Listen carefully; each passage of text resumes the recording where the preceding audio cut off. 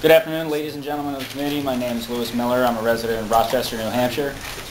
I'd like to begin by thanking the Honorable Mr. Lambert, Mr. Moose, Mr. Warden for their introduction and sponsorship of House Bill 1531, and to the New Hampshire House Representatives and Committee for Criminal Justice Public Safety for the opportunity to speak today in support of this amendment to RSA 262, Chapter 2. New Hampshire has a proud tradition of respecting individual liberty. And this was the most important factor for deciding to move my family here and become residents of this state.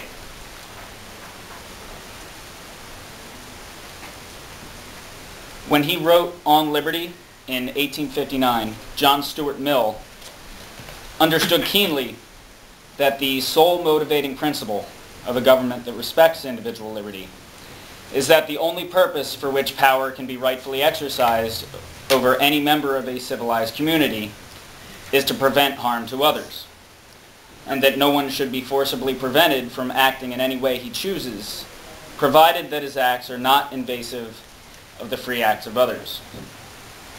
This is the self-same principle of liberty upon which the governments of the United States and the state of New Hampshire were founded. It is the infliction of harm upon another person that makes an action wrong. And it should be the sole focus of our, our government to protect the liberty of the people and the victim, victims of crime. I believe that House, House Bill 1531 achieves this purpose admirably. If there's no individual victim who can be shown to have suffered demonstrable harm, then there is no crime.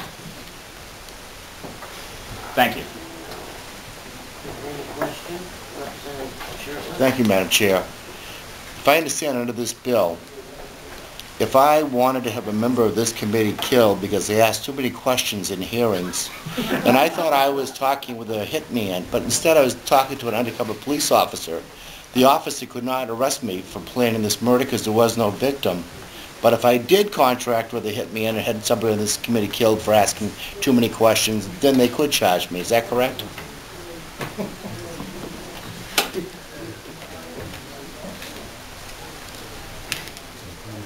I believe that that, that, that would constitute the direct threat of harm to an individual, and then there could be shown to, to be a victim of that. Thank you. Are there any other questions? Thank you very much. You have written testimony? I, I do.